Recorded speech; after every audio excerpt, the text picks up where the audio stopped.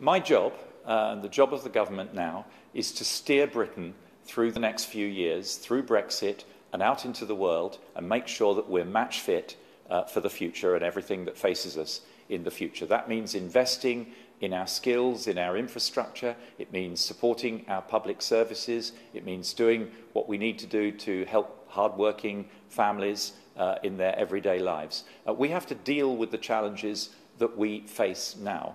And I judge that the right way to raise uh, an amount of revenue that we need to do that, we put a lot of money into social care yesterday, we put money into the NHS, we put money uh, into technical skills and education. The right way to do that is to ask the self employed, those on higher earnings, to contribute just a little bit more.